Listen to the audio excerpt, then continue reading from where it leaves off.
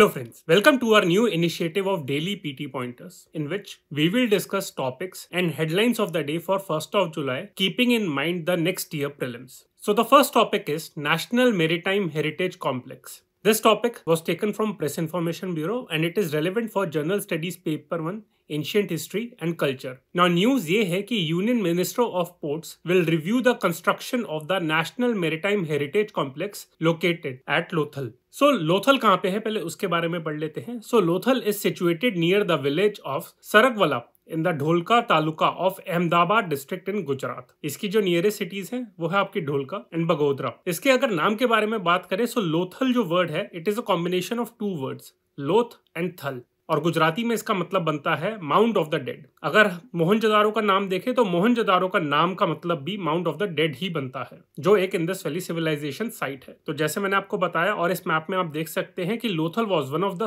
southernmost sites of the Indus Valley civilisation located in the then Bhal region जो भी presently Gujarat में located है। और आपकी जो इंदस वैली सिविलाइजेशन की साइट्स है, वो है आपकी मोहनजदारो हो गया, हड़प्पा हो गया, कालीबंगन हो गया, राखीगढ़ी हो गया धोलावीरा हो गया एंड लोथल हो गया तो मैप में आप इनकी लोकेशन देख सकते हैं अगर इसकी टाइमलाइन की बात करें so it is believe that Lothal was built in 2200 BC. According to archaeological survey of India Lothal had the world's earliest known dock connecting the city to an ancient course of the Sabarmati river next topic है हमारा Durand cup. ये topic आपका press information bureau में आया था and sports के लिए relevant है। प्रीलिम्स में स्पोर्ट्स रिलेटेड क्वेश्चंस आ जाते हैं। 2023 के प्रीलिम्स में भी आए थे और 2021 के प्रीलिम्स में भी। तो इसे आप इग्नोर मत करिए। सो न्यूज़ ये है कि chief of the Indian arm forces flagged off the trophy tour of the one thirty second edition of the Durand cup तो दुरंत कप है क्या? It is Asia's oldest and the world third oldest football tournament जिसमें India के top football club participate करते हैं। इसका जो सबसे यूनिक पॉइंट है,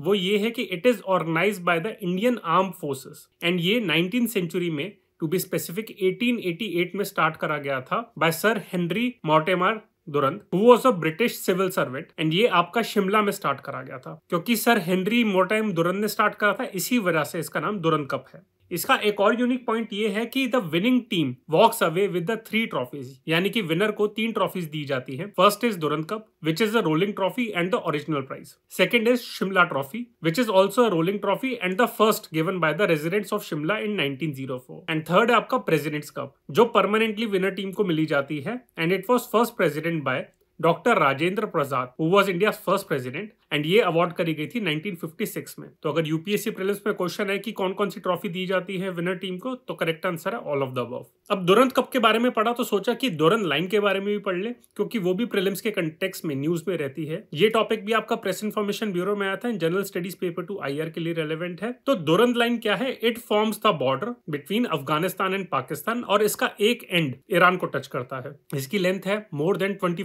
kilometre long and ये एटीन में स्टैब्लिश स्टैब्लिश करा गया था as a border between the then British India and by the emirate of Afghanistan and इसको जो डिसाइड करा गया था that was decided by Mortimer Durand जो मैंने आपको बताया ब्रिटिश सिविल सर्वेंट थे उस टाइम पे, जिन्होंने दुरन कब भी स्टार्ट करा था 1888 में and Abdul Rahman Khan the then emir of Afghanistan उस टाइम पे ब्रिटिश एम्पायर अफ़गानिस्तान को एक इंडिपेंडेंट स्टेट कंसिडर करती थी although they controlled its foreign affairs and diplomatic relation but Afghanistan अभी भी इस लाइन को डिस्प्यूट करता है बिकॉज़ जो यहाँ पे पश्तून ट्राइबल्स है एंड बलोच ट्राइबल्स है, उनको डिवाइड कर दिया गया था। तो इसी वजह से अफ़गानिस्तान डिस्प्यूट करता है इस लाइन को। नेक्स्ट टॉपिक है हमारा Indira Gandhi national centre for arts ये टॉपिक आपका प्रेस इन्फॉर्मेशन ब्यूरो में आया था general studies paper one culture के लिए रेलिवेंट है। ये टॉपिक इसलिए न्यूज़ में है क्योंकि एक नई exhibition banking on world heritage was inaugurated at this centre and इस एग्जीबिशन का ऑब्जेक्टिव है to display bank notes of G twenty member countries तो इस ऑर्गेनाइजेशन का हेडक्वार्टर है न्यू दिल्ली इसका अगर स्टेटस देखें so it is an autonomous institute under the union ministry of culture ये ऑर्गेनाइजेशन 1985 में स्टैब्लिश करी गई थी by the then prime minister of India Rajiv Gandhi and it is named after the former prime minister and mother of Rajiv Gandhi Indira Gandhi इसमें एक और unique point है for the centre five rocks from the five major rivers Sindhu जिसे हम Indus river कहते हैं आज Ganga Kaveri Mahanadi and Narmada. तो वहाँ से रॉक्स कलेक्ट करी गई थी and that were composed into sculptural forms next topic है हमारा टोमेटो ग्रैंड चैलेंज हैकाथॉन ये टॉपिक आपका हिंदू न्यूज़पेपर के पेज 11 पे आया था and general studies paper three economy के लिए रेलिवेंट है। न्यूज़ ये है कि department of consumer affairs in collaboration with ministry of education to be specific the innovation cell of ministry of education they have announced a tomato grand challenge hackathon इसमें यहाँ पे trick ये है कि मिनिस्ट्री ऑफ़ एग्रीकल्चर ने launch नहीं करा ministry of food processing ने लॉन्च नहीं करा मिनिस्ट्री ऑफ़ कंज्यूमर अफेयर्स ने इसे लॉन्च करा है। इस हैकाथन का ऑब्जेक्टिव है to invite innovative ideas at various levels of the tomato value chain अगर हम टोमेटो की प्रोडक्शन के बारे में बात करें सो टोमेटो जो क्रॉप है आपकी that is produced in all the states of the India but इसका वेरी करता है कि कहाँ पे ज़्यादा, कहाँ पे कम आपकी इसको ग्रो करा जाता है। जो मैक्सिमम प्रोडक्शन है वो आपकी southern and western region of India में है। और इसमें जो सबसे लार्जेस्ट प्रोड्यूसर है, वो आपके रिसेंट स्टैटिस्टिक्स के अकॉर्डिंग है Andhra Pradesh followed by Madhya Pradesh the peak harvesting season of tomato occurs in December to February and the periods during July August and October November are the lean production months of tomato next topic है हमारा हुल दिवस। ये topic आपका business standard newspaper में आया था and general studies paper one culture के लिए रेलिवेंट है। नॉट थर्टीथ ऑफ़ जून को, यानी कि yesterday Hul Diwas was celebrated across the nation and इसका ऑब्जेक्टिव था to commemorate the Santhal rebellion ये जो आपका संथल रेबिलियन था, ये 1855 में आपका हुआ था, यानी कि दो साल पहले before the revolt of 1857 the rebellion was led by four sibling brothers Sidhu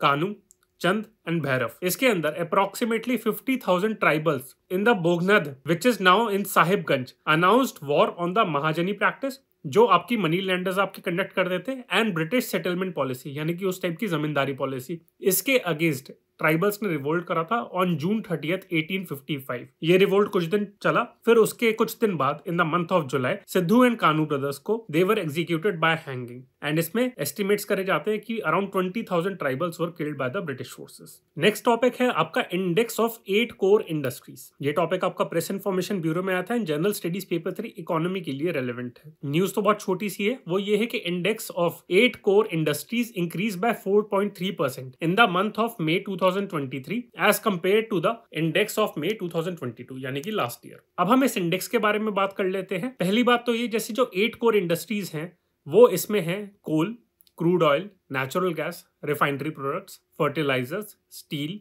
cement and electricity ये जो एट कोर इंडस्ट्रीज़ हैं they together comprise 40.27 percent of the weight of the items included in the index of industrial production तो आपका एक index of industrial production होता है, उसमें eight core industries dominate करती हैं, वो आठ ही हैं, और उनकी वेटेज कंबाइंड है 40.27 अगर हम इन एट कोर इंडस्ट्रीज़ में देखें तो इसमें सबसे ज़्यादा वेटेज है आपकी रिफाइनरी प्रोडक्ट्स की followed by electricity steel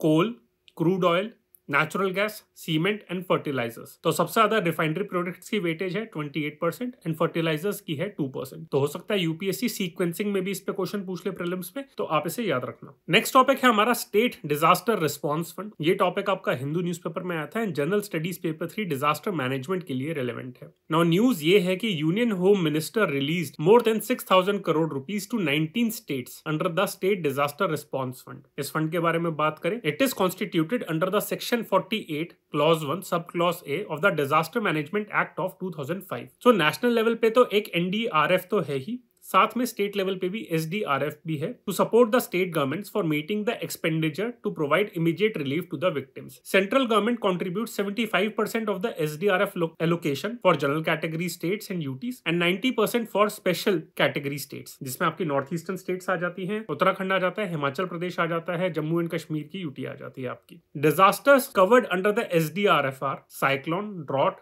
earthquake, floods, tsunami, hailstorm, landslide, avalanche, cloudburst, pest attack, frost, and cold wave. इस पे क्वेश्चन पूछ सकता है प्रीलिम्स की कौन कौन से डिजास्टर इसके अंदर इंक्लूडेड है। State governments may use up to 10 percent of the funds available under S D R F for providing immediate relief to the victims of the natural disaster that they consider to be a disaster but which is not included in the notified list of disaster of the ministry of home affairs next topic है हमारा national sickle cell anaemia elimination mission so प्रधानमंत्री Modi ji will be launching this mission today in Madhya Pradesh ये topic आपका All India Radio में आया था general studies paper two health के लिए रेलिवेंट है। इसका ऑब्जेक्टिव है to eliminate sickle cell disease as a public health concern by the year 2047 जो आपके इंडिपेंडेंस का हंड्रेड ईयर होगा। और ये मिशन इसलिए लॉन्च कराया गया है कि सिकल सेल डिज़ीज़ जो है ट्राइबल पॉपुलेशन में बहुत बड़ी कंसर्न है। In fact according to statistics one in 86 birth among tribals have sickle cell anaemia ये जो आपका मिशन है इस साल के यूनियन बजट में पहली बार अनाउंस करा गया था। And it will be implemented in 278 districts of 17 high focus states of the country such as Gujarat Maharashtra Rajasthan Madhya Pradesh West Bengal Orissa Tamil Nadu Karnataka Assam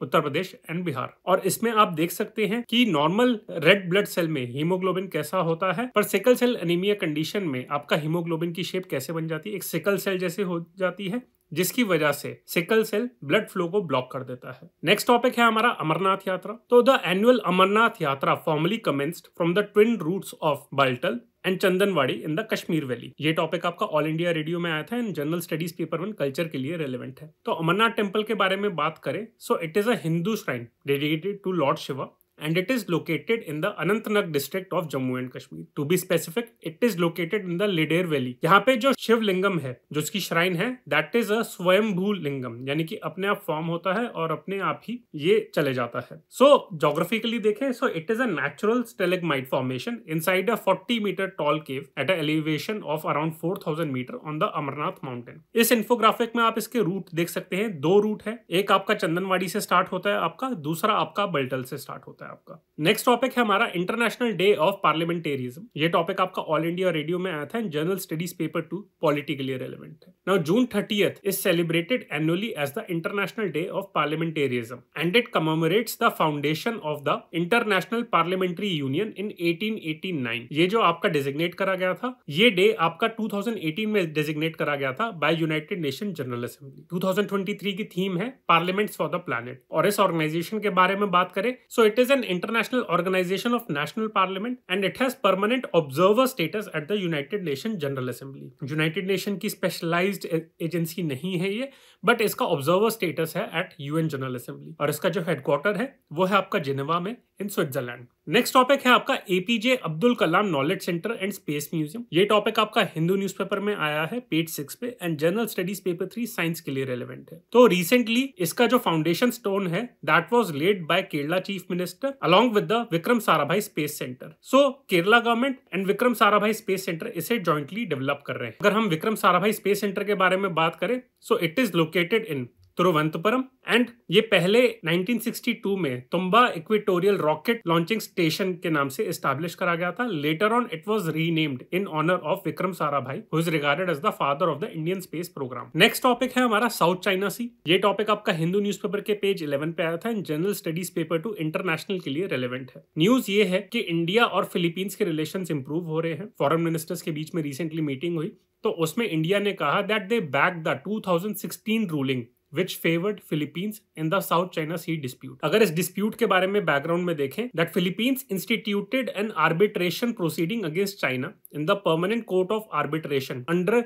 UNCLOS in 2013 this arbitration court ruled in favour of Philippines in 2016 but ये जो ruling है China ने reject कर दी थी because China claim करता है कि south China सी का जो मेजर पोर्शन है, वो उसको बिलोंग करता है। इनफैक्ट वो एक नाइन डैश लाइन एक इमेजिनरी लाइन क्लेम करता है कि उस लाइन के अंडर जो भी एरिया है, वो चाइना की गवर्नेंस में आता है। एशियन कंट्री सारी उसे अपोज करती है तो यही डिस्प्यूट अभी चल रहा है। इस मैप में आप देख सकते हैं चाइना की नाइन डैश लाइन और किसके साथ चाइना का डिस्प्यूट है? तो ताइवान के साथ है, फिलीपींस के साथ है, ब्रुनई के साथ है, मलेशिया के साथ है एंड वियतनाम के साथ है। इस नाइन डैश लाइन के अंडर साउथ चाइना सी में तीन आइलैंड्स भी हैं तो ये आइलैंड्स भी चाइना क्लेम करती है। नेक्स्ट टॉपिक है हमारा सॉलिसिटर जनरल ऑफ़ इंडिया ये टॉपिक आपका हिंदू न्यूज़पेपर के पेज 11 पे आया था and general studies paper two polity के लिए रेलिवेंट है। नाउ न्यूज़ ये है कि appointments committee of the union cabinet approve the re appointment of Tushar Mehta as the solicitor general of India and he has been re appointed for three years beginning from first of July now solicitor general of India है क्या? This post is subordinate to the attorney general of India and they are the second highest law office officer of the country